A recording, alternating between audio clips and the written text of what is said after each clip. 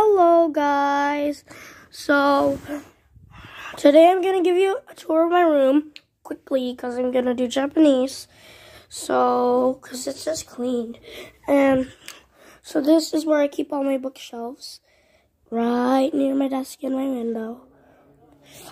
And right next to it is my bed. It's not that big though. My room. And then over here is my closet and full of other stuff too. And so that's my backpack. And this is the chair. We might give it away though. I don't know. I mean, it doesn't really matter though. And these are my stuff. And yeah, I do have a Nintendo. And this is my Beyblade. So, bye. Hope you had a nice tour. Guys. This is my room. I'm gonna learn Japanese. Bye.